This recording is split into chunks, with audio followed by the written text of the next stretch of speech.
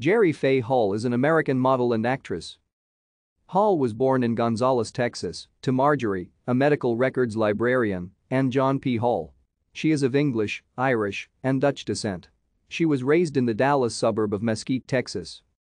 Hall graduated from North Mesquite High School early at 16. While in high school, she also took classes at Eastfield College in archery, tennis, and gymnastics.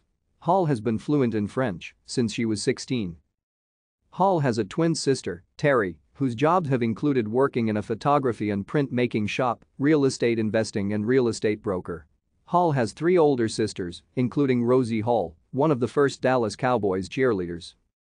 In the TV series Who Do You Think You Are?, Hall discovered that she was descended from Humphrey Best, an associate of American pioneer Daniel Boone. Jerry Hall and her twin sister Terry were in the French Riviera sunbathing on a St. Tropez beach when fashion agent Claude Haddad discovered them. Thank you for watching. Like and subscribe if you would like to view more of our videos. Have a nice day.